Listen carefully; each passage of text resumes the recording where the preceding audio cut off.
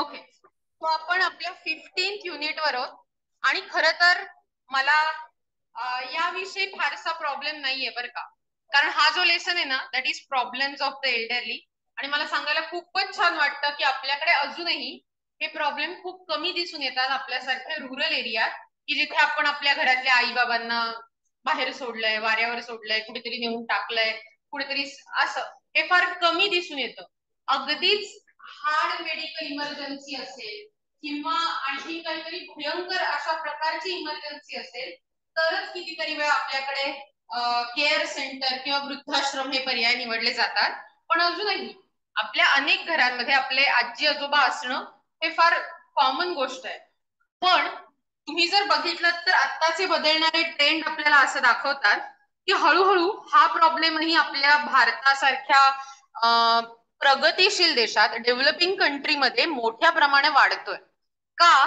कारण इन अ वे आपल्याकडे जी आत्ता पॉप्युलेशन आहे working population working population is always between eighteen to may be let say fifty eight याच्यानंतर लोक रिटायर होतात. आणि आपल्याकडे पूर्वापार चालत आलेल्या संस्कृतीप्रमाणे कसं असतं की जनरली वडील आई मुलासाठी आयुष्यभर काम करतात. त्यांना फीड करतात त्यांना वाढवतात. आणि त्यानंतर त्यांनी म्हणजे मुलांनी आई बाबांची काळजी घेणं अपेक्षित असतं. आणि म्हणून तुम्ही बाबांसारखा पिक्चर बघितला असेल की त्याच्यात कसं झालं होतं की मुलांची काळजी घ्यायची मुलांना नाही येऊन हवं याच्यासाठी त्या आई बाबांनी त्यांचं स्वतःच घरही घेतलं आणि मग आई बाबा राहणार कुठे? मग मुलांमध्ये चार मुलांमध्ये वाद सुरू झाले की दोन लोकांना आमच्या घरात अकोमोडेट करायला जागा नाहीये. सो असं करू आई बाबांना स्प्लिट करू. आई बाबा is not a commodity right ती गुड नाहीये कुठलं की तू एक ठेव मी एक ठेव. पण तसं दाखवलं गेलं त्या पिक्चरमध्ये आणि अनेक ठिकाणी हे घडतानाही दिसून येत. सो जर समजा ते असे स्प्लिट झाले तर एकतर ते आयुष्यभर एकत्र राहिलेले असतात. तुम्ही इमॅजिन करा की तुम्ही तुमच्या पार्टनरपासून फक्त मुलांच्या इच्छेमुळे जोडलं जाणार. हे भयंकर आहे. आणि मुख्य गोष्ट म्हणजे एल्डरली लोक हे अनेक वेळा त्यांच्या समस्येने वेगळे असतात. ते डिपेंडंट असतात. ते त्यांच्या तरुण पिढीवरती आई बाबांवरती डिपेंडंट असतात. कितीतरी वेळा अनेक आजारांनी ग्रस्त असतात. आजार म्हणजे काय? बीपी डायबेटीस या सगळ्या गोष्टींची त्यामुळे त्यांची औषधं त्याच्यासाठी असणाऱ्या ट्रीटमेंट डॉक्टर्सच्या व्हिजिट या सगळ्या आणि या सगळ्यांवरती एका पर्टिक्युलर एज पर्यंत त्यांना लक्ष ठेवता येईल. आज पण एका त्यानंतर मात्र कदाचित त्यांना लक्ष ठेवता येईल असं नाही. अशा वेळी मुलाला किंवा मुलीला त्यांची केअर घेणं अपेक्षित असतं गरजेचं असतं. याच्या बरोबरीने दुसरा मुद्दा असा की आपल्याकडच्या एल्डरली लोकांमध्ये भारताचा पर्टिक्युलरली विचार केला तर आपल्याकडे तुम्ही बघा तुमच्या आसपास तुमचा आजा असतील आजोबा असतील तर या लोकांना फॉर्मल एज्युकेशन हे खूप कमी प्रमाणावर मिळाले होते. बरोबर ना? हे लोक शाळेत फारसे गेलेले नव्हते किंवा गेले असतील तरी खूप शिकलेले असतील फार कमी लोक असतील ज्यांनी रिटायरमेंटचं प्लॅनिंग केलं. आज व्यक्ती कामाला लागली नोकरी मिळाली की पहिलं ती काय करते? करणं अपेक्षित असतं insurance plan pension pension plan म्हणजे मी रिटायर झाल्यावरती मला आयुष्यात किती पैसे मिळतील जरी सॅलरी मिळाली नाही तरी. त्याच आपण आराखडा बांधतो किंवा बांधणं अपेक्षित असतं. आजकालच्या पिढीची ती गरज आहे. पण आपल्या मागच्या पिढीने हे केलेलं नाही. आणि त्याच्यामुळे काय होतं की पैशासाठी आपल्यावरती ते डिपेंडंट असतात. आणि मग तुम्हाला माहितीये माणसाचा स्वभाव असा आहे की त्याला जर कळलं नाही एखादी व्यक्ती आपल्यावर डिपेंडंट आहे. ते आपण स्त्रियांच्या बाबतीत बघितलं S T S T N T पॉप्युलेशनच्या बाबतीत बघितलं. ज्या क्षणी पॉवर हातात असलेल्या लोकांना लक्षात आलं की ही लोक आमच्यावर डिपेंडेंट आहेत. एकदम त्यांचा ऍटिट्यूड बदलूनच गेला. त्यांनी त्यांना टाचेखाली ठेवायला सुरुवात केली. तसंच आपलंही होतं नकळत की ते पूर्वी कदाचित हेड ऑफ द फॅमिली होते आजोबा असतील आजी होते असेल तर ते एकदम बदलून जातात. ते आपले आश्रित बदलून जातात. म्हणजे मग आपल्या घरामध्ये त्याची ट्रीटमेंट मिळत नसणार मला खात्री आहे. पण अनेक घरांमध्ये मग त्यांना अशी ट्रीटमेंट दिली जाते की काय तुम्हाला काय हवं का सकाळ सकाळ नसल्याचं म्हणतात अरे त्या व्यक्तीने गेली सात वर्ष सकाळी उठल्या उठल्या चहा पिण्याची सवय त्या कुठल्या व्यक्ती आता पुढेही घेणं अपेक्षित आहे ना साठ वर्षानंतर किंवा पुढे काही असेल तर. पण तसं होत नाही. समजा आपल्या घरी एखादी पार्टी आहे आपले फ्रेंड्स आले आणि अचानक आजी बाहेर आली आणि म्हणाली अरे हे असं जरा मला दाखवतो का आपल्याला आता बघत आता भेटतो नको असं होतं की अनेक वेळा आणि हे दोन्ही बाजूनी असतं. म्हणजे असंही म्हणते मी की कितीतरी वेळा या ज्या वृद्ध व्यक्ती असतात त्यांनी आम्ही तर खूप पाहिलेलं असतं. त्यांच्याकडे खूप सारा एक्सपिरियन्स जमा झालेला असतो. आणि त्यामुळे त्यांना असंही वाटत असतं की त्यांना सगळ्या गोष्टीचं सगळं माहितीये आणि मग त्यांना सल्ला देण्याची इच्छा होते. आपल्याला अनेक वेळा नव्या पिढीप्रमाणे तो सल्ला पटत तुम्ही तुमच्या मनाने वागण्याला चूक नाहीये पण समोरच्याला ट्रीट कसं करणं त्यात फरक तुम्ही जर हिडीस फिडीस केलं तर त्यांना नक्की वाईट वाटणार आहे त्यांना नक्की त्रास होणार बरोबर? होणार ना? तुम्हाला कोणी केलं हो, वयाच्या पुढे गेल्यावर तर चांगलं वाटेल आवडेल. नाही वाटणार. तसंच त्यांनाही त्रास याच्यापुढे जाऊन आणखी एक समस्या भारतासारख्या देशांमध्ये काय होते? की पुढची पिढी ही जास्त जास्त शिक्षण घेते. आणि नवीन शिक्षण घेऊन ते गावात असतील तर शहरामध्ये सेटल होतात. वेगळ्या राज्यामध्ये सेटल होतात. वेगळ्या देशामध्ये सेटल होतात. आणि मग जे घर बांधलंय ते छान सगळं नाही बाबा. तर पैशाचा काही प्रॉब्लेम नाही. Everything is well the money is good the retirement age is good health is good the only problem is they start feeling त्यांना आपण एकटे असं वाटायला खूप जास्त. आणि हे जे एकटं आलं फिलिंग आहे ना ते हळूहळू काय एमटीनेस सिंड्रोम असं म्हटलं जातं. एमटीनेस सिंड्रोम म्हणजे काय? एमटीनेस म्हणजे रिकामं करतं मग ते दोघंच असतात मग काय करायचं खूप कमी लोकांना इथे पॉझिटिव्हली घेता येतं. आणि त्यामुळे सुद्धा त्यांच्या मनावर विपरीत परिणाम होतात.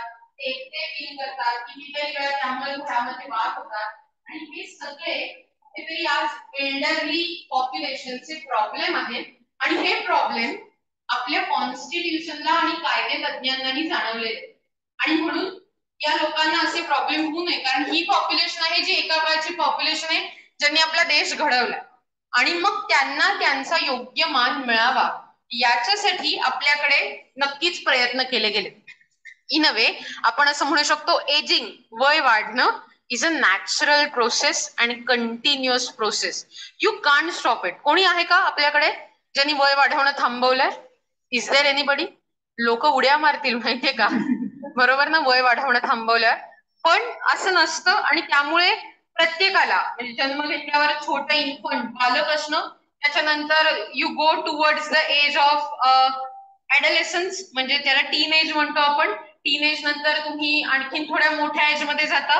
वर्किंग एज बरोबर? ज्यात तुम्ही तुमची स्वातंत्र्य लाईफ एन्जॉय करता. Then you go towards old age हळूहळू एल्डरली एजकडे आणि then there is a demise he basic human लाईफची सायकल आहे. आपल्याला आज त्याच्या पोस्ट उत्तरार्धाबद्दल बघायचं आणि म्हणून जर तुम्ही बघितलं तर आपण असं म्हणू शकतो की ओव्हरऑल भारतामध्ये रिटायरमेंटचं एज पंचावन्न ते साठ पासष्ट याच्या मध्यात वॅरी होतं. प्रत्येक ऑर्गनायझेशनमध्ये वेगळं वेगळं रिटायरमेंट एज दिसून येतं. आणि मग गेल्या काही वर्षामध्ये असं दिसून आलंय की रिटायर झालेल्या व्यक्तींना अनेक मोठ्या प्रमाणावरती हालाखीत जगायला लागत असल्याचं दिसून येतं. आणि म्हणून भारतामध्ये the maintenance and welfare of parents and senior citizens act दोन हजार सात साली पास करून घेण्यात आला. ज्या योगे आपल्या पालकांना मुलांनी सांभाळलंच पाहिजे आणि जिथे गरज असेल आणि पालकांनी असं आवाहन केलं की आम्हाला मदतीची गरज आहे तर ती मदत त्यांच्या मुलांना द्यावीच लागते. कंपल्सरी. आणि हे या ऍपचं वैशिष्ट्य आहे. ओके? सो जर तुम्ही पुढे बघितलं तर आपण असं म्हणू शकतो की डेमोग्राफिक प्रोफाईल मध्ये आपण युनेस्को म्हणजे जे युनायटेड नेशन्सचं ऑर्गनायझेशन आहे त्यांनी असं म्हटलंय की साठच्या वरचे लोक साठ एजच्या वरचे लोक दोन हजार पाच साली जगामध्ये फाईव्ह नाईन्टी मिलियन होते. म्हणजे पाचशे नव्वद मल्टिप्लाइड बाय एक मिलियन वर जेवढी शून्य असतात तेवढी. एक million is a ten lakh म्हणजे पाचशे नव्वद मल्टिप्लाइड बाय दहा लाख. इतके वृद्ध लोक जगात अस्तित्वात होते.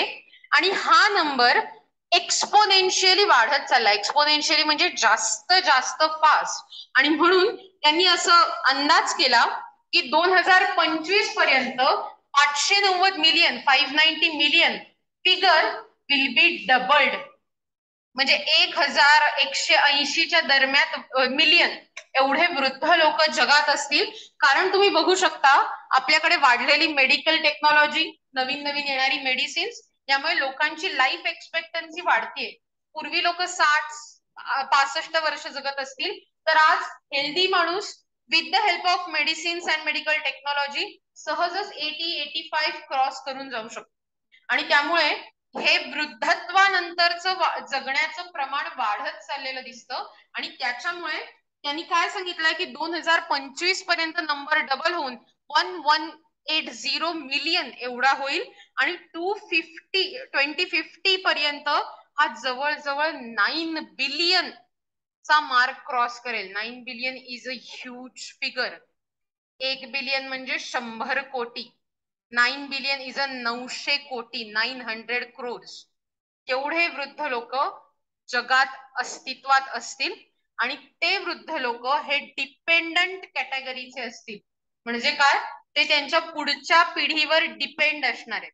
आणि त्यामुळे आपल्याला आजच जाग होऊन त्यासाठी योग्य कृती योग्य कायदे आणि आपलं बिहेवियरमध्ये बदल घडवणं अपेक्षित आहे. आणि म्हणून ओव्हरऑल जर बघितलं तर वृद्ध लोकांच्या काय बेसिक नीड्स असतात? मी मगाशीच तुम्हाला सांगताना सांगितलं की कितीतरी वेळा त्यांना अनेक गरजांसाठी साध्या साध्या सोप्या सोप्या. मी म्हटलं असं की सकाळचा चहा ही फार छोटी गरज आहे. टूथपेस्ट मला पेप्सोडेंटची लागते बा समजा लहानपणापासून. ही प्रत्येकाचा वेगळा ब्रँड असतो ना? साबणाचा टूथपेस्टचा टूथब्रशचा आयुष्यभर त्यांनी जपलाय. मग त्यांना रिटायरमेंट नंतर सुद्धा तेच लाईफ मिळायला हवं की नाही? पण आपल्याकडे हळूहळू मी म्हटलं जसं की एक ऍटिट्यूड बदलत जातो त्याचा की मग मी म्हणेन ते मग सगळ्यांसाठी मी कोलगेटच आणली बेस्ट स्टुडंट आणली नाही. It's not the way life works you have to make changes as per the peoples want so you can say की त्याच्याबरोबर या लोकांना केअर गिव्हिंगची गरज असते. कशी? सामाजिक केअर कम्युनिटी केअर त्याच्यानंतर हेल्थ केअर इन्शुरन्स किंवा इन्स्टिट्यूशनल केअर इकॉनॉमिक केअर म्हणजे त्यांना खूप वेगवेगळ्या प्रकारांनी मदत करणं त्यांची काळजी घेणं हे गरजेचं असतं.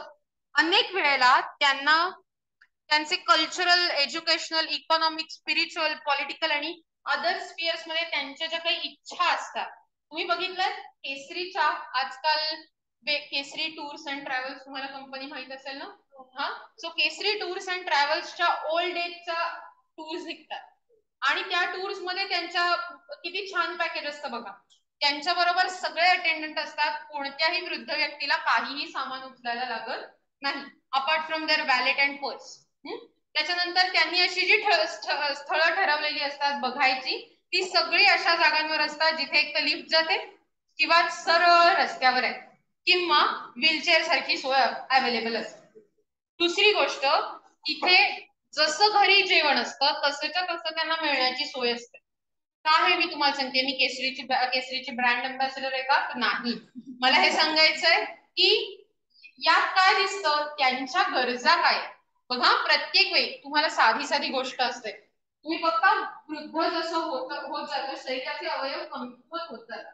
आणि त्यामुळे तुम्हाला लक्षात येत असेल की वृद्ध लोकांना एसटी मध्ये बसल्यावर आज तुम्ही एसटीत बसल्यावर तुम्हाला प्रत्येक ठिकाणी वॉशरूमला उतरायला लागत नाही. मी तू म्हणजे इथे बसला तिकडे उतरला कदाचित तुम्हाला वॉशरूमला जायला लागणारही नाही. पण वृद्ध लोकांना मात्र प्रत्येक वेळी खाली उतरावं लागतं. लागतं की नाही? का? कारण हे सगळे बदललेले अवयव होणारे कमजोरी या सगळ्या गोष्टी. आणि मग जो हा अशक्तपणा आहे त्यामुळे मग मला सांगा की जर समजा वृद्धत्व हे त्यांचं दोष नाहीये ना? कोणाचा असू शकतो? की हा एखादी तुम्ही मागच्या जन्मात काहीतरी पाप केलं होतं म्हणून आता तुम्हाला वृद्धत्व आला तुमचा दोष असं वगैरे काही शकता का? नाही everybody is going to be old elder and that's why या सगळ्या गोष्टी त्यांच्या बॉन्ड त्या फुलफिल झाल्या पाहिजेत. आणि त्याच्या बरोबरीने हे सगळं फुलफिल करताना आपल्या मनात असा हेतू नाही असला पाहिजे बघा त्यांना कसली भारी सर्व्हिस दिली आहे. कारण ही त्यांची लाईफ बॉन्ड आहे. आणि ती त्यांची लाईफची डिग्निटी आहे. मान सन्मान.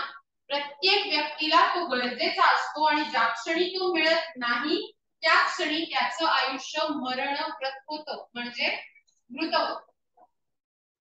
तो जगताना सुद्धा मेल्यासारखी व्यक्ती असते. सो जर तुम्ही बघितलं पुढे तर आपण असं म्हणू शकतो की त्यांच्या लाईफमध्ये असलेली डिग्निटी त्यांना सोसायटल लेवलवरती अनेक गोष्टींमध्ये भाग घ्यायला आवडतो तो घ्यायला मिळाला पाहिजे. सिक्युरिटी त्यांच्या तुम्हाला माहिती आहे अनेकदा जे जे क्राईम्स घडलेले दिसून येतात हे क्राईम्स वृद्ध लोकांच्या बाबतीत घडलेले दिसून येतात कारण त्यांच्याकडे फाईट बॅक करण्याची शक्ती कमी असते. रस्त्यावर जर चोराला चेन खेचायची असेल तर एखाद्या टग्या मुलाची किंवा मुलीची खेचण्यापेक्षा एखाद्या आजींची खेचणं खूप सोपं जातं कारण आजी त्याच्यामागे धावून ती पकडू शकणार नसतात त्याला. आणि म्हणून अनेकदा अनेक प्रकारचे क्राईम्स हे सुद्धा एल्डरली लोकांच्या अगेन्स्ट होतात आणि असे क्राईम्स जे होतात ते म्हणून त्या लोकांना सिक्युरिटीची गरज असते. मग आपण असे कोणते कोणते प्रॉब्लेम्स कन्सिडर मी ऍक्च्युली बोलताना हे बोललीये पण let's talk about it the first is health problems हे बोलूच या मला सांगा तुम्ही. तुमची तुम्ही तुमच्या घराच्या आसपास आजी आजोबांना बघता तुमच्या घरात बघत असाल या लोकांना नक्की कोणते प्रॉब्लेम्स असतात सांगा मला. एक तर आपल्याला इथे दिसतोय हेल्थ प्रॉब्लेम की त्यांना काही ना काही आजार असतात त्यामुळे तर औषधं लागतात किंवा हॉस्पिटल्सला फ्रिक्वेंट व्हिजिट करावे लागतात. बरोबर? या हेल्थ प्रॉब्लेम आणखीन कोणते प्रॉब्लेम असतात? एनिबडी फायनान्शियल प्रॉब्लेम एक तर त्यांना पेन्शन मिळत असू शकते पण जर ती नसेल तर ते नेहमी कुणावर तरी डिपेंडंट राहतात. एनिबडी आणखीन कोणते प्रॉब्लेम असू शकतात? ओके बघा अकेला राईट जर समजा असं झालं असेल हे मी जेव्हा प्रश्न विचारत असते तेव्हा त्याला मी तुम्हाला म्हटलं ग्रुप डिस्कशन असतं. आणि तुम्हाला जर ते डिस्कशन करायचं आणि खाली मोबाईल मध्येच बघायचंय तर निदान तुम्ही शांत बसून मोबाईल मध्ये बघू शकता की नाही. पण डिस्टर्ब करण्याची काही गरज नाही. मोबाईल वर म्हणजे मॅडम आम्ही कधी आवाज करत नाही. मीडियाचा आवाज पण बंद बंद बंद इतकी वेळा चेक करतो मॅडम येस सगळ्यात मोठी समस्या. कितीदा तरी आजी आजोबा असतील ना तर आपल्याला जाणवत नाही पटकन. ओल्डर लोकांचे प्रॉब्लेम एल्डर लोकांचे प्रॉब्लेम बरोबर? कारण ते दोघं एकमेकांच्या बरोबरीने आजी म्हणते तुला तुम्हाला चहा व्हायचं माझी चहा करून देते. आजोबा म्हणतात मग काय आता देवळात जाण्यासाठी येतेस का? बरोबर? आणि मग ते छान छान आपलं आपलं बघत असतात. प्रॉब्लेम कुठे सुरू होतो. जर त्यांच्यापैकी एक कोणी अर्ली डिमाइज झालं त्यांचं ते गेले तर दुसरी व्यक्ती फार एकटी पडते. कारण आजपर्यंत त्यांनी त्या दोघांशिवाय फारसं पलीकडचं जग बघितलेलं नसतं आणि त्यांना एकमेकांची इतक्या वर्षांची सवय झालेली असते. आणि त्यामुळे ते जे आपण म्हणतो ना की अलोननेस तो फील होतो. मग ही पोकळी भरून काढण्यासाठी घरच्यांना फार प्रयत्न करावे लागतात. त्या घरच्यांना एकत्र येऊन त्यांची ती तरी फार कमी असतं पण हे जे आपल्याला दॅट्स व्हेरी इम्पॉर्टंट थिंग की अशा वेळी या माणसाने हे प्रॉब्लेम होत असतात की अलोननेस आणि मग त्यातनं कितीदा तरी सायकोलॉजिकल डिसऑर्डर सुरू होतात. जसे डिप्रेशन असू शकतं कधी कधी पॅनिक अटॅक्स एकटं झोपण्याची सवय नसते इतकी वर्षात कधी आणि मग त्यामुळे कोणीतरी सोबत असणं. आणि मग ते काय होतं माहितीये का? एखादा नातू किंवा नात असेल ना तर आजी असं म्हणते मेरे पास आजाऊ ना सोने के लिए सो दॅट आपल्याला मला रात्रीला कोणाची तरी सोबत होईल. तू ये जरा माझ्या बरोबर झोपायला. पण आपण भारी हो मी नाही येणार. मला पबजी खेळायचं रात्री माझे लोक ऑनलाईन असतात. मला पबजी खेळायचं. मी येणार संबंध का? मी माझा वाटेल. पडवीत झोपेल. तुझ्यावर झोपेल. असं खूप झालेलं दिसून येतं ना आपल्याला अनेक वेळेला. So these are the problems आणि हा तू काहीतरी सांगत होतीस?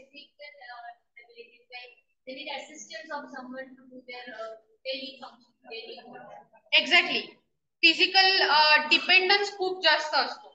जर तुम्ही बघितलं तर uh, अनेक लोकांना समजा गुडघे दुखतायत uh, पाय दुखतायत खूप चालता येत नाहीये पाठ दुखतीये काही लोकांचे असे आजार अगदी सहज असतात वृद्धावस्थेत आणि मग त्यांना कॅरी करायला लागतं बरोबर ना? आणि मग कॅरी करणं म्हणजे साधं हात धरून नेणं किंवा व्हीलचेअरवरनं नेणं आणि हे कठीण होऊन yes anybody yes from this side yes मला तुमचं डिस्कशन झालंय उत्तर देताना म्हणून मी पुढे आले म्हटलं तुमचा आवाज़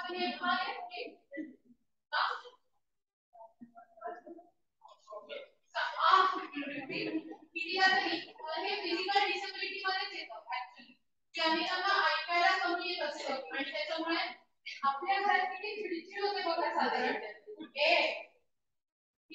मागे म्हणणार असे का? चिडचिडचा एक असा विचार करा की अनेक वेळेला या गोष्टी घडलेल्या आपल्याला दिसून येतात की आवाज कमी ऐकायला येतोय. आणि त्याच्यामुळे त्यांच्या मागे जाऊन जरी सांगितलं आजी ठेवायचं कळलं नाही.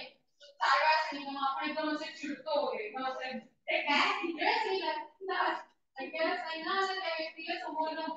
तुम्ही समोर जाऊन सांगा.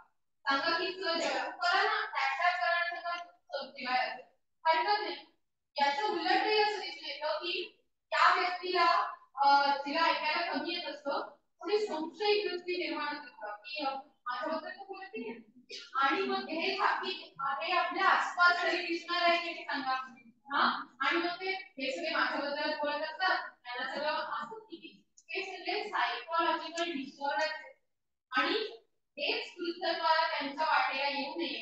किंवा जर त्यांच्या वाटेला आलेच तर त्यातून ते प्युअर व्हावे. त्यांना त्याचं चांगलं लाईफ जगता यावं याच्यासाठी मग प्रयत्न करणं गरजेचं आणखी कुणाला कॉन्ट्रीब्युट करायचं? आणखी कुठले प्रॉब्लेम असतात आपण प्रत्येकाला एक एक चान्स डिस्कस छोट्याशा गोष्टीवरनं ते करता परीक्षा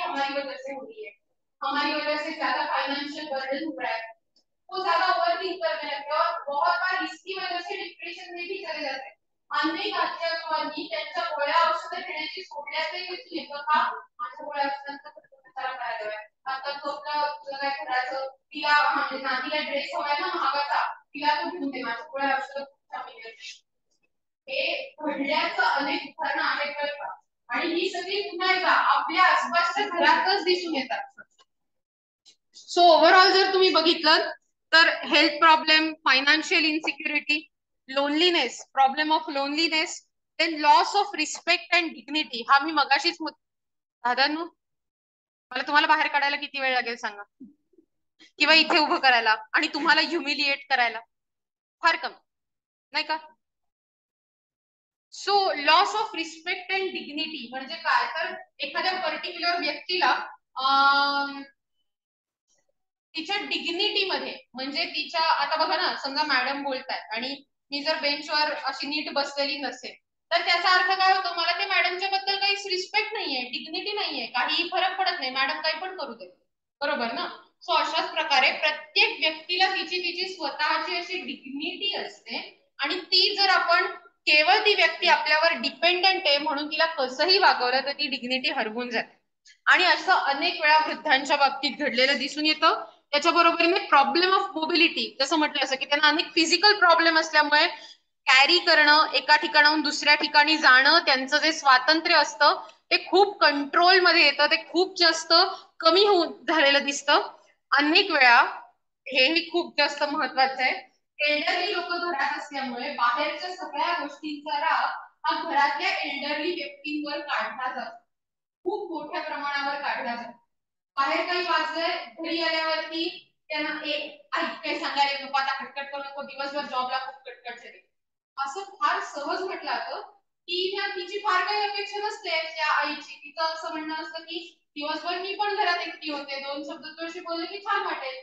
पण त्या क्षणात कंट्रोल कुणाकडे? घराचा बाबांकडे किंवा आईकडे. म्हटल्यावर जी आजी आहे तिला काहीच मानते आणि किती हा झाला इमोशनल अब्युज फिजिकल अब्युज हे खूप मोठ्या प्रमाणात सहन करायला कधी कधी मारहाण कधी कधी रेप्स कधी कधी अननोन व्यक्तीकडनं होणाऱ्या चोऱ्या डकेती या सगळ्या गोष्टी सुद्धा या प्रकारच्या अब्युजमध्ये समाविष्ट असतात. आणि हे आपल्या भारतातही होतं. भारत सोडा आपल्या जिल्ह्यात आपल्या तालुक्यातही अनेक वेळा होतं. फक्त कारण हे वृद्ध लोक समाजाशी फार कनेक्टेड नसतात. दे कांट रिपोर्ट त्यांची तक्रार ते नोंदवू शकत नाही. आणि मग उरलेलं सगळं आयुष्य कुणाच्या तरी टाचेखाली आणि कुणीतरी असं काहीतरी ब्लेम करत असताना जगावं लागतं. हे भयंकर आहे. कधीतरी त्याला एक एक प्रिन्सिपल म्हणतात. प्रिन्सिपल ऑफ एम्पथी एम्पथी म्हणजे काय? तर दुसऱ्याच्या शूजमध्ये राहून उभं राहून पाहणं. शूज म्हणजे दुसऱ्याच्या परिस्थितीची कल्पना आपल्यावरती परिस्थिती ओढावली तर काय होईल याची कल्पना करणं. मी आज तुम्हाला हा टास्क देते. डू वन थिंग आणि विचार करायला सुरुवात करा की तुम्ही साठ वर्षाच्या वरचे आहात आणि तुमच्या हातात फार कमी पैसे आहेत. सगळं काही घर दार तुम्ही मुलाच्या प्रेमामध्ये वाहून जाऊन मुलाच्याच किंवा मुलीच्याच नावावर केलंय. आणि तुमची मुलगी आली आहे घरी आणि तुम्ही तिच्या घरी आला साधा म्हणायला लागेल. आणि ती मुलगी किंवा तो मुलगा ते घरात जोरात भांडणं चालू आहे त्याच्या पत्नी आणि पतीशी पती म्हणतोय की इथले ठेवलेले पैसे गेले कुठे? कपाटात तर ठेवले होते. दहा हजार रुपये ठेवले होते गेले कुठे? असे दहा हजार रुपये हलके हलके हरवतात का? त्याच्यावरती पत्नी म्हणते मी तर आलेलीच नाही मी दिवसभर बाहेर असते. घरात फक्त बाबाच असतात. मग बाबांना विचारलं जातं पण विचारलं कसं जातं? बाबा तुम्हाला जर पैसे घ्यायचे होते तर माझ्याकडनं मागायचे. मी दिले असते तुमचं काही कमी करतो का? चोरायची काय गरज होती? हे घडतं. की हे काही माझ्या मनचं रचून वगैरे सांगत नाहीये. आणि मग त्यानंतर त्या बाबाला काय फील होत असेल? त्या आईला काय फील होत असेल? की ज्या मुलाला साधं काय म्हणतात तसं चालता येत नव्हतं त्याला हाताला बोटाला बोट खोलून आपण चालायला शिकवलं उभं राहायला शिकवलं ही व्यक्ती आज मला चोर म्हणते दहा हजार रुपयासाठी. आणि मग घरात शोधायला सुरू होते आणि मला लक्षात आलं येतं की छोटू पण तर घरात होता आणि छोटू खेळता खेळता कपाटा बरोबर आला होता आणि तिने कपाटातले कपडे सगळे खाली ओढले होते आणि त्यामुळे ते बंडल कपाटाखाली गेलं होतं. पण प्रत्यक्षात वडिलांना चोर ठरवून आपण मोकळे झालेलो होतो. या कुठल्याही घटना अनेक वेळेला अनेक ठिकाणी आपापल्या घरांमधूनही दिसून येतात आणि म्हणून हे असे जे एल्डरली अब्युज आहेत त्याचे खूप मोठे प्रॉब्लेम आज समाजातही दिसून येतात. आणि क्राईम्सबद्दल तर मी तुम्हाला आत्ताच म्हटलेलं आहे. अनेक प्रकारे त्यांची मुलं ओळखीचे लोक समाजातील इतर विघातक लोक अशा एल्डरली व्यक्तींचा अपमान करतात. अनेक वेळा त्यांचा विनयभंग करण्याचा प्रयत्न करतात. अनेक वेळा त्यांच्या अगेन्स्ट भरपूर क्राईम होतात.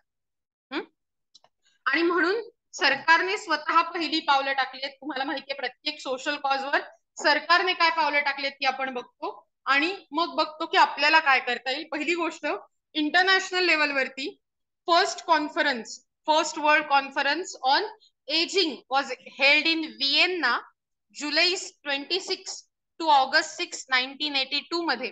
हे तुम्हाला प्रश्नांसाठी उपयोगी पडू शकतं डेफिनेटली आणि ही जी इंटरनॅश त्याच्यात international plan of action on aging हा अडॉप्ट करण्यात आला. भारत त्याचं सिग्नेटरी होतं again in nineteen ninety two United Nations General Assembly adopted the proclamation to observe the year nineteen ninety nine as international year of the older persons म्हणजे elderly लोकांसाठी खास सुविधा करता याव्यात त्यांच्यावर अख्ख्या जगाचं अटेन्शन जावं. म्हणून एकोणीसशे नव्याण्णव हे साल international year of older persons म्हणून साजरं करण्यात आलं. असे दिवस तेव्हाच साजरे केले जातात जेव्हा या गोष्टींकडे लक्ष देण्याची गरज असते. एक दिवस तरी आईला तिचा म्हणून मिळावा म्हणून मदर्स डे अदरवाईज आहेच आई चहा हम्म. आई झालं का जेवण? किती वाजलेत? बघितलं नाही का? ओके देन युनायटेड नेशन्सनी जनरल असेंब्लीने डिसेंबर सोळा नाईन्टीन नाईन्टी वनमध्ये अठरा प्रिन्सिपल्स एटीन प्रिन्सिपल्स अडॉप्ट केली ऍक्सेप्ट केली ज्याच्यात पाच क्लस्टर्स इन्क्लूड केले गेले. नेमली इंडिपेंडन्स म्हणजे एल्डरली लोकांचं इंडिपेंडन्स पार्टिसिपेशन त्यांचं सोसायटल पार्टिसिपेशन केअर त्यांना पुरवण्याची काळजी सेल्फ फुलफिलमेंट म्हणजे त्यांना मिळणारा आत्माभिमान स्वतःचा अभिमान and then the dignity to the older person त्यांना द्यायचा सन्मान. सो मला माहितीये तुमच्या की कितीतरी लोकांना ना हे खूप मजे मजेचे खेळ वाटतात. आणि त्या सगळ्यांसाठी मी फार काही नाही सांगू शकत. मी एवढंच सांगेन आज जे मिळतंय ते एन्जॉय करून घ्या. कारण कदाचित ते असं ना karma bites that's the word what says की तुम्ही आज कसं वागताय त्याचा इम्पॅक्ट तुमच्या पुढच्या लाईफवर पडत असतो. It's a basic rule of physics remember action pay reaction होना ही चाहिए. न्यूटन बाबा नाही बताया. राईट सो आज ऍक्शन करून घ्या. हसायचंय हसा बघायचंय बघा. Chewing gum चघळायचे chewing gum चघळा. झोपायचंय झोपा. कर्मा बाईज बॅक आणि ते कशा पद्धतीत बाईट बॅक करेल हे मी तुम्हाला सांगायची गरज नाही. ते तुम्हाला दिसूनच येईल पुढे पुढे. सो नॅशनल लेवलवरती आपण भारताने काय प्रयत्न केले? Article forty one of part four directive principles of state policy म्हणजे भारताने आपल्या कॉन्स्टिट्यूशनमध्ये एक्केचाळीसाव्या आर्टिकलमध्ये असं म्हटलेलं दिसून येतं की प्रत्येक राज्यामध्ये within the limits it's means employment education public assistance हे सगळंच्या सगळं एल्डरली पॉप्युलेशनला योग्य प्रमाणात पुरवण्यात यावं. आणि ज्या क्षणी ते अनएम्प्लॉईड असतील ओल्ड एजमध्ये असतील सिकनेस डिसेबलमेंट या सगळ्या क्रायटेरियामध्ये त्यांच्या बॉन्ड फुलफिल करण्यासाठी सरकारने स्पेशल स्कीम काढून त्यांच्यासाठी प्रयत्न केले पाहिजेत. घटनेच्या सातव्या शेड्यूल मध्ये the seven schedule of constitution has entries that enable both state government and union government or central government की त्यांनी त्यांच्या मदतीने एकमेकांसाठी म्हणजे युनियन गव्हर्नमेंट आणि स्टेट गव्हर्नमेंटने एल्डरली लोकांना मदत करण्यासाठी कोणत्याही प्रकारचे लॉ करणं गरजेचं आहे. ते लॉ मदतीसाठी असणं आणि वेलफेअर मेजर्स प्रोव्हाइड करण्यासाठी असणं गरजेचं आहे. याच्या बरोबरीने आपल्याकडे वेगवेगळ्या प्रकारच्या policies of states for elderly person असतात. आजच्या घडीला आपल्याला दिल्ली आणि महाराष्ट्र या दोन राज्यात मोठ्या प्रमाणावर इथॉस आणि कंडिशन मधल्या या पॉलिसी दिसून येतात. तसंच there is this one nodal agency हे तुम्हाला उपयोगी येणारे आन्सर लिहिताना. Because there will be question explain the senior city provision for senior citizens in India आणि मग अशा हे सगळं लिहायला लागतं तुम्हाला. सो नोडल एजन्सी म्हणजे काय? तर अशा प्रकारची एक सेंट्रल एजन्सी की जी एल्डरली लोकांचं वेलफेअर कसं केलं पाहिजे याविषयी आपल्याला सांगेल. आणि त्यात वेगवेगळ्या प्रकारचे राज्य त्यांची सरकार त्यांचे मंत्री वेगवेगळ्या प्रकारचे एनजीओ सिव्हिल सोसायटी इन्स्टिट्यूशन्स यांना इन्क्लूड करून घेण्यात आलंय. Then the fifth one is national council of older persons NCOP हे ऑर्गनायझेशन असं आहे की जे सोशल जस्टिस आणि एम्पॉवरमेंटचा प्रयत्न करतं. वृद्धांना सोशल जस्टिस आणि एम्पॉवरमेंट मिळावी यासाठी प्रयत्न करतं. त्याच्या बरोबरीने there is national institute of social defence N I S D he ministry of social justice आणि empowerment of government India government of India या मिनिस्ट्रीकडून सुरू करण्यात आलेली इन्स्टिट्यूशन आहे की ज्याच्या हातून एन आय एस डी ही दोन हजार साली इरेक्ट करण्यात आली. त्यांनी त्यांच्या प्रोजेक्ट ज्याला national initiative on care for elderly NICE नावाचा प्रोजेक्ट होता की ज्या प्रोजेक्ट अंडर वेगवेगळ्या प्रकारची काळजी किंवा तत्सम केअर जी वृद्ध लोकांना देणं गरजेचं असतं ती केअर भारतातल्या प्रत्येक वृद्धापर्यंत चांगल्यात चांगल्या प्रमाणात आणि समान लेवलवर म्हणजे ज्यांच्याकडे पैसे आहेत त्यांना चांगली केअर आणि जे गरीब आहेत त्यांना खराब केअर असं न होता प्रत्येक वृद्धाला चांगल्यात चांगली केअर कशी मिळेल यासाठी नाईस प्रोग्राम अंडर एनआयएसडी काम करते. अगेन पेपरामध्ये तुम्हाला हे लिहिणं अपेक्षित असतं. And then there is day care centre सरकारच्या मदतीने आणि प्रायव्हेट ऑर्गनायझेशनच्या मदतीने.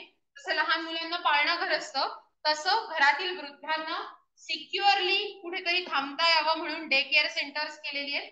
जिथे जर घरात दोन्ही व्यक्ती काम केलं करत असतील तर त्यांना सकाळी किंवा एका पर्टिक्युलर वेळी वृद्धांना सोडता येतं आणि त्याच्यानंतर संध्याकाळी परत घेऊन येता येतं. इथे अनेक वृद्ध लोक असतात त्यांच्या बरोबरीने गप्पा चांगल्या प्रकारचं खाणं पोषक याच्यामुळे त्यांचा दिवस छान जाऊ शकतो आणि घरी आल्यावर त्यांचं त्यांचं रुटीन करू शकतात. आणि ह्यात मला नाही वाटत ह्यात काही चुकीचं आहे. जसं पूर्वी त्यांना ऑफिसला जायची सवय होती मे बी असते डे केअर सेंटरला आता आपल्याकडे अजून तेवढी ही पद्धत रुजू झालेली नाही. आणि म्हणून आपल्याला कदाचित वेगळं वाटण्याची शक्यता आहे. याच्या बरोबरीने गव्हर्नमेंटने वृद्धांना प्रोटेक्शन देण्यासाठी national policy for older persons on ही सुरू केली which was started in nineteen ninety nine January thirty आणि त्याच्या अंडर जर तुम्ही बघितलं तर गव्हर्नमेंटने काय काय करायचं ठरवलंय किंवा केलंय setting up of pension fund की ज्याच्यामुळे प्रत्येक वृद्धाला काही ना काही पेन्शन फायनान्शियल इंडिपेंडन्स मिळेल दुसरं construction of old age homes म्हणजे ज्यांना वृद्धाश्रम म्हणतो आपण तसंच day care centre for every three four district म्हणजे प्रत्येक जिल्ह्यात निदान एक तरी असावा असा अंदाज. Establishment of resource centre reemployment bureaus for people above sixty काही लोक खूप छान शिकलेले असतात खूप छान हेल्थ कंडिशनमध्ये असतात आणि अशा आजोबांना किंवा आजींना जर कुठे आणखीन काम करण्याची संधी मिळाली जसं शाळांमध्ये शिकवणं कुणाला तरी वाचून दाखवणं तर त्यांचाही दिवस आनंदात जातो प्रोडक्टिव्ह जातो आणि डिग्निटी मेंटेन होते. त्यांना पगार मिळतो त्याचा. बरोबर? सो अशासाठी काही सोल्युशन्स काढणं कन्सेशनल रेल एअरफेअर तुम्हाला तुम्ही बघितलं असेल तर आज त्यांना ट्रेनमध्ये तीस टक्के डिस्काउंट मिळतं आणि बसेसमध्ये सॉरी इंडियन एअरलाइन्समध्ये फिफ्टी पर्सेंट डिस्काउंट मिळतं. इव्हन आपल्या एसटीचा विचार केला तर एसटी मध्ये सुद्धा पंचाहत्तर वर्षाच्या पुढच्या लोकांना मोफत फिरायला मिळतं. साठ टू पंच्याहत्तर त्यांना पर्सेंटेजमध्ये डिस्काउंट असतं. सो याने त्यांना त्यांचं डिग्निटी मेंटेन करता येते स्वातंत्र्य जपता येतं. आणि enacting legislation for insuring compulsory generic care कशा पद्धतीने? तर एखाद्या मुलाने आई बाबांना सोडून दिलं असं होऊ नये म्हणून कायदे करणं. तुम्हाला माहितीये का? असं नेहमी म्हणतात. सगळ्यांना वारीबद्दल माहिती असेल ना? पंढरपूरची जी वारी असते त्याबद्दल. अनेक वेळेला ही जी वारी असते ना ती वारी झाल्यानंतर पंढरपूर किंवा आसपासच्या गावांमध्ये अनेक वृद्ध लोक विदाऊट केअर सापडून येतात. हे लोक कदाचित थोडेसे भूमिष्ठ असतात. त्यांना आपण कुठे आहोत काय याची काही अंदाज आलेला नसतो. कारण अनेक वेळा यांची मुलं त्यांना वारीसाठी म्हणून घेऊन येतात आणि पंढरपुरात सोडून जातात. आणि असं अनेक ठिकाणी दिसून येत. असं काही नाही. एकच धर्मक्षेत्र आहे वगैरे असं काही नाही. प्रत्येक धर्मस्थळावर प्रत्येक धर्माच्या हे दिसून येतं अनेक वेळा. आणि म्हणून ही मनोवृत्ती कुठेतरी कमी व्हावी म्हणून अशा प्रकारचे कायदे कानून आपल्याकडे केलेले दिसून येतात. याच्या बरोबरीने एजवेल फाउंडेशन म्हणजे अशा प्रकारे ओल्ड एज लोकांचा ग्रुप तयार करणं की जे आपल्या गोष्टी एकमेकांमध्ये वाटू शकतील बोलू शकतील शेअर करू शकतील. अवेअरनेस त्यांच्याबद्दलचा अवेअरनेस मुलांमधनं शाळांमधनं वाढवणं आणि government policies regarding provident fund pension gratuity या सगळ्याचं अवेअरनेस त्यांच्यापर्यंत पोहोचवणं त्याचा फायदा त्यांना करून देणं. टॅक्समध्ये कन्सेशन जी असतात ती मिळवून देणं हे सगळं कुठेतरी आपलं सरकारकडून मेजर्स केली जातात. आणखीन पुढे बघितलं तर L I C life insurance corporation of इंडियाने वृद्ध लोकांसाठी जीवनधारा योजना जीवनक्षय योजना सिनियर सिटीन सिटीजन युनिट योजना मेडिकल इन्शुरन्स योजना या योजना एल आय सीने सुरू केलेल्या दिसून येतात. अन्नपूर्णा योजनेमार्फत आपले पास्ट जे पीएम होते अटल बिहारी वाजपेयी त्यांनी सुरू केलेली ही योजना होती की ज्याच्या थ्रू प्रत्येक एल्डर व्यक्तीला दहा किलोचं अन्न मिळायचं. So that is one housing scheme यांना कमीत कमी पर्सेंटच्या लोनमध्ये टेन पर्सेंट किंवा त्यापेक्षा कमी पर्सेंटच्या इंटरेस्टच्या लोनमध्ये त्यांना घर बांधण्याची सोय करून दिली जाते. आणि ओव्हरऑल जर तुम्ही बघितलं तर अशा प्रकारे त्यांचं वेलफेअर व्हावं ही काळजी सरकार घेण्याचा प्रयत्न करते. दुसरी गोष्ट असते एम्पावरमेंट त्यांना शक्ती देणं. ते काम आपलं असतं सोसायटी म्हणून.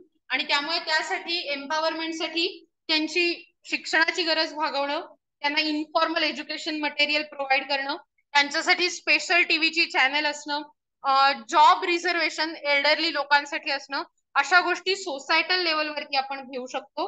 तसेच ऍडमिनिस्ट्रेशनमध्ये जर विचार केला तर लोकांचं काम सहज व्हावं. त्यांना सतत सतत तिला कळलंय कंटाळा आलाय तिला. मी शेवटी हा धडा पूर्ण करूनच थांबणार आहे काहीही झालं तरी. सो ऍडमिनिस्ट्रेटिव्ह मेजर्समध्ये जर तुम्ही विचार केला तर वेगवेगळ्या प्रकारच्या सिनियर सिटीजनसाठी एक टेबल एक खिडकी योजना म्हणजे काय त्यांनी एकाच ठिकाणी यावं?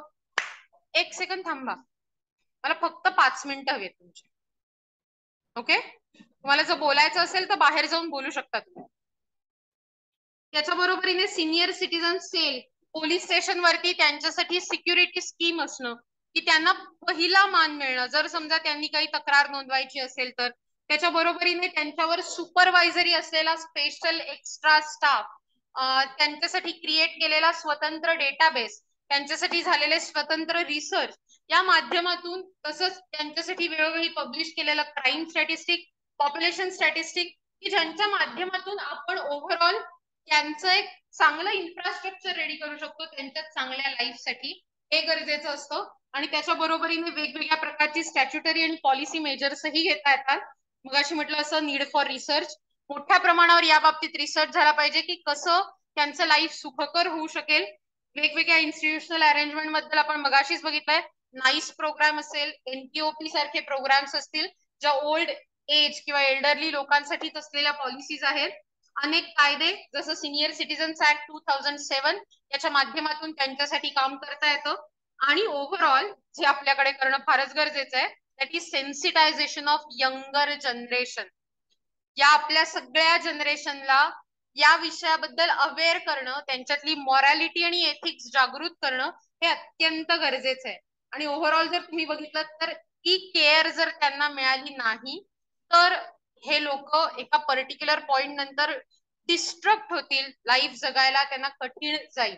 ओके पॅलिएटिव्ह केअर म्हणजे शेवटचा मुद्दा आहे डोंट वरी पॅलिएटिव्ह केअर म्हणजे त्यांचं जनरली दिवसाचं ऍव्हरेज स्पेंडिंग हे पाच रुपये ते दोनशे रुपये इतकं असतं. मग पाच रुपये ते दोनशे रुपये इतकं स्पेंडिंग असताना त्यांच्यापर्यंत ती अमाऊंट त्यांची डिग्निटी लॉस न करता कशी पोहोचेल? आणि त्यांना लागणाऱ्या गोष्टी समजा एखाद्या वृद्ध व्यक्तीला घराबाहेर पडता येत नाहीये. तर त्यांना लागणारी मेडिकल केअर डॉक्टरांच्या व्हिजिट हाऊसकीपर स्टाफ या सगळ्या गोष्टी कशा प्रकारे त्यांच्याकडे पोहोचवता येतील यासाठी विचार करणं त्या प्रकारे कृती करणं गरजेचं आहे.